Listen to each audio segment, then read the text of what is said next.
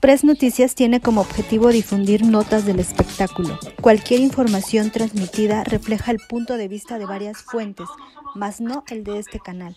Se recomienda discreción del espectador. Osiris Escobedo, el fan número uno de Exatlón México, le iba a los rojos. Osiris platicó que el reality lo veía cada noche con su familia conformada por sus padres y abuelos, pero que pronto comenzó a verlo solo cuando terminó la primera temporada. Luego de esto realiza una confesión que le rompería el corazón momentáneamente tanto a sus compañeros como a los fans que observaban desde su casa. Debo confesar que la primera temporada era rojo, dijo el atleta azul mientras Maki y el equipo gritaron horrorizados y Guardianes festejaban.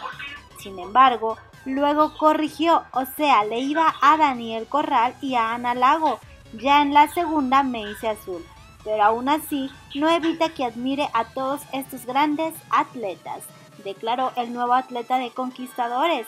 Luego de esto y reconocer puntualmente a Jairo Campo y a Leli Hernández como grandes atletas y nuevos compañeros de aventura, el atleta de parkour dijo que tanto su familia, amigos y conocidos le dijeron que perdía su tiempo entrenando con el objetivo de entrar a Exatlón México Incluso él mismo lo veía inalcanzable por una gran razón. Sí, lo veía inalcanzable. Y más porque tuve una lesión, tuve una fractura y quería tanto estar aquí que me hice zurdo. Aprendí a tirar con la zurda. Este era mi meta, era mi objetivo y nada me iba a detener estar aquí.